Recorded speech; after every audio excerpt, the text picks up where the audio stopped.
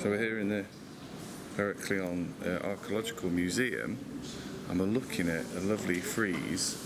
Um, so it's called a campstool fresco, period 450, 350 BC. What's quite amazing is, is that's an original piece there.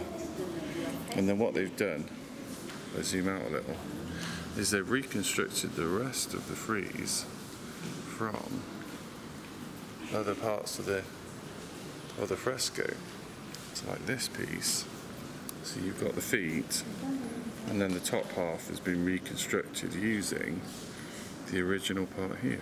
So if I go back a little, you can then see the entire frieze, which really gives you an idea of of what it was like. And it's very interesting because the colours are really very vivid in how they were painted. What an amazing uh, method of archaeology. Then we can go in and see the feet and a head that have then obviously been reconstructed onto another one.